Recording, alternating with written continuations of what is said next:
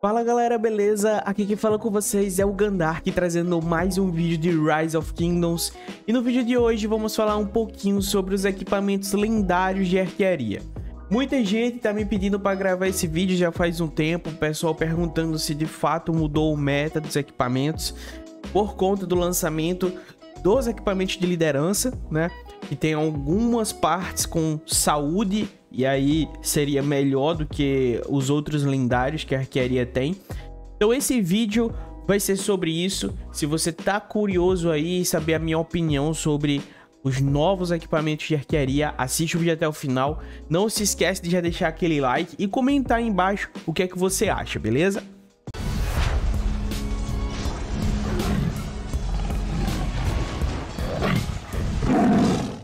Então, galera, vamos começar primeiro dando uma introdução aqui ao vídeo. Seguinte, existe uma diferença entre equipamentos para rally e equipamentos para open field, ok? É, de fato, os jogadores hoje que têm os equipamentos para rally e para guarnição de arquearia não tem por que se desfazer do sopro do dragão tá? Completamente é, maximizado, com todas as especializações, ou até mesmo né, quatro peças de sopro do dragão e elmo e arma do KVK. Não existe motivo para essa galera se desfazer desses equipamentos, porque, na minha opinião, o meta para rally guarnição não muda. Porque toda e qualquer diferença entre status que a gente tem em rally em guarnição faz diferença. E nessa ocasião eu prefiro muito mais manter os status elevados, tá? De defesa, de ataque e saúde, mesmo sendo o ataque o maior deles, do que trocar para um pouco de saúde. Então eu prefiro muito mais manter a especialização com alto status de ataque, enfim, do que trocar para os equipamentos de liderança e ganhar um pouco de saúde nisso. Então, na minha opinião, para rally e para guarnição não mudou nada. Ainda é quatro conjuntos do sopro do dragão, elmo e arma do KVK, porque tem grandes atributos, tem grandes é, status de ataque, de defesa, certo? Isso para mim não mudou. Agora, quando a gente fala de open field, de campo aberto, aí a história já muda um pouco, né? É, aí a gente tem que realmente priorizar a saúde ou a defesa das marchas. Aí sim, eu acho que mudou o meta, porque se torna muito forte esse conjunto aqui de liderança. Obviamente que não fazer ele todo, lógico que não, beleza? Mas algumas combinações mudou sim. E vamos lá então falar um pouquinho sobre essa questão. Beleza. Aí na tela então a gente tem o conjunto que inclusive o Gold né, mostrou lá no canal dele. Vou deixar o link aí na descrição do canal do Gold Game, beleza?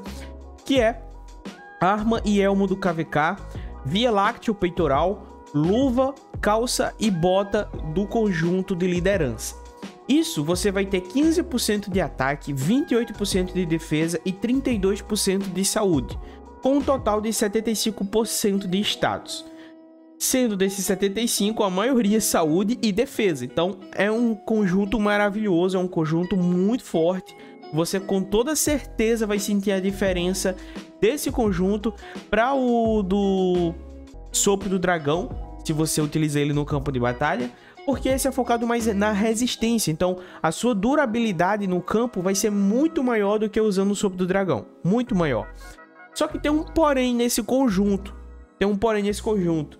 Elmo e arma do KVK é muito caro. E eu não digo, eu não digo caro de primeira forja. Não, não é isso. Eu digo caro de se não vier especialização, você futuramente vai sofrer e muito para especializar essa galerinha. Ah, Gandark, mas não precisa de especialização. Vai chegar um momento que vai precisar, cara. Porque vai chegar um momento que você já vai ter tudo bem evoluído na sua conta e aí só vai faltar os equipamentos sem especialização. Então, esses dois vão ser extremamente caros para você especializar. Primeiro, porque você precisa das moedas do KVK, beleza? Para continuar pegando as plantas deles. E segundo, porque é muito mais material que você precisa para especializar essa galera.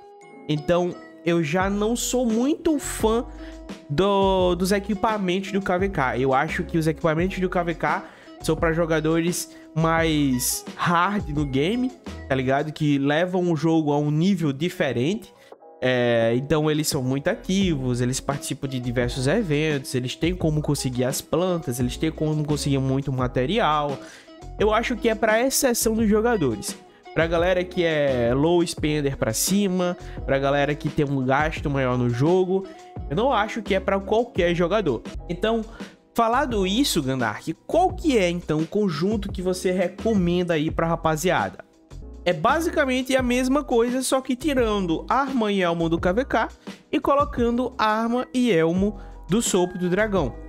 Aqui você vai ter 14% de ataque, 23% de defesa, 32% de saúde, 69% de status no total. Então perceba que você não perdeu saúde, você perdeu um pouco de defesa e um pouco de ataque, ok? Uh, é mais forte, é, é, mais fraco do que o set anterior, com certeza é mais fraco, mas é muito mais barato. Principalmente se no futuro você quiser especializar essa galera, ok? E aqui, rapaziada, deixando bem claro uma outra coisa com relação à bota lendária de liderança. Essa bota lendária de liderança só vai valer a pena você ter ela especializada. Porque se você reparar aqui, a diferença dela para a bota épica que a gente tem de arquearia é mínima, cara. Porque a bota do conjunto, ela vai te dar 6% de saúde sem especialização. A bota épica, ela te dá 5.5% de saúde já com é, sem especialização. E como é muito mais fácil você obter especialização, isso daqui chega na casa dos 7% de saúde. Então, a bota lendária só vale a pena se você especializar que, é que isso significa? Isso significa que faz os outros equipamentos antes. Quando chegar na bota, você já faz ela e já tenta a especialização, tá certo? E aí vem outra dúvida da rapaziada, né? Vem outra dúvida da rapaziada. Ganark, e agora, cara? E agora, o que é que eu faço? Eu já tenho dois equipamentos do Sopro do Dragão, seguindo aquelas dicas que você lançava no canal. Eu já tenho, cara. Já tenho um peitoral, já tenho uma é, luva do Sopro do Dragão. Ou já tenho um peitoral, já tenho um bota do Sopro do Dragão. O que é que eu vou fazer com minha conta agora, se o meta de Open Field mudar de fato? Seguinte. Você tem algumas opções. A primeira é continuar no Sopro do Dragão. Como eu falei aqui, a maior status de saúde e defesa faz total diferença e você perceberia no campo de batalha. Mas caso você não queira fazer, você tem a opção de manter no sopro do dragão. Vai ser forte, igual, tá? Uh, não igual, o de saúde e defesa é mais forte no campo de batalha, no open field. Mas forte igual que eu diga é lendário, cara. É conjunto lendário do mesmo jeito, tá? Você vai estar tá forte. Uh, então fica tranquilo. Mas caso você tenha feito duas peças do sopro do, do sopro do dragão, tá de boa, cara. Eu vou mostrar aqui uma variável para você.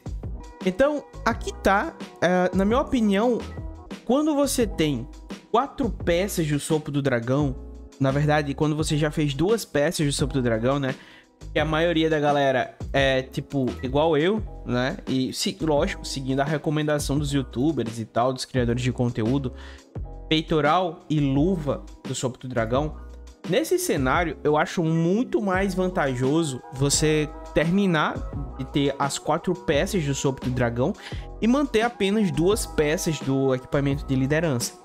Uh, por quê?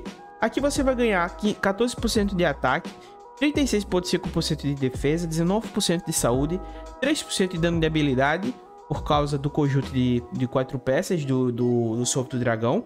E você vai ter um total de 69,5% de status.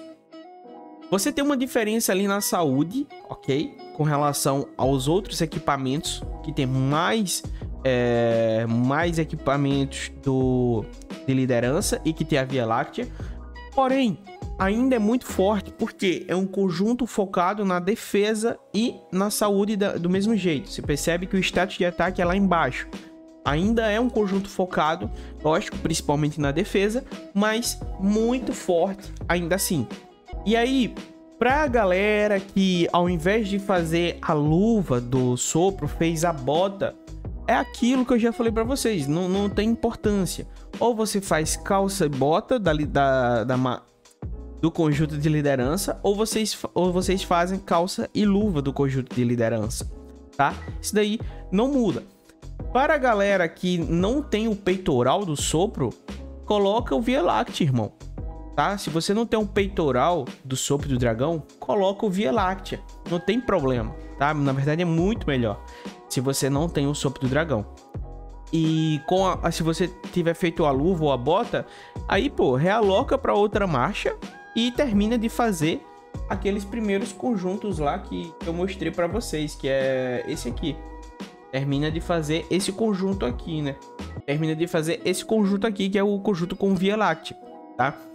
É, então, são essas as diferenças entre os equipamentos de liderança que, que eu acho que existe atualmente, beleza? É lógico que cada jogador tem sua própria opinião, tem seus próprios gostos, ok? E muita gente, muita gente faz o seguinte. É, a galera tava comentando aí nos canais, né? Colocou um, uma luta. Colocou uma luta. Deixa eu mostrar aqui para vocês. Espera aí. Então, a galera colocou uma luta entre esses dois conjuntos, né? Naquele simulador de batalha que tem aí na internet. É... E aí, obviamente, né? Com o ambos com especialidade, enfim, etc. Mesmo, mesmos status, mesmos tecnologias, enfim. É, tudo certinho. E o conjunto aqui é, do sopro do dragão completo venceu, tá? Mas aquilo que eu falei para vocês, cara.